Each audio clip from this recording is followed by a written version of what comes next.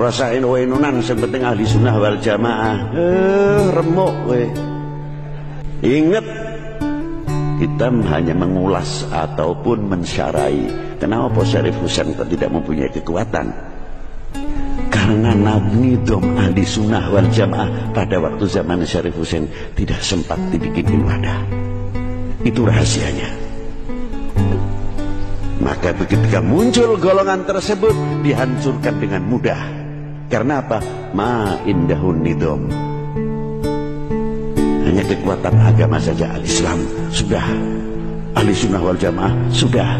Tapi untuk nidom memperkuat ini lemah. Dan bagaimana cara menghancurkan nidom ala ahli sunnah wal jamaah sedikit demi sedikit. Ora usah NU NU nan sing penting ahli sunnah wal engko ini kaya nang zaman Syarif Husain dipecel kepen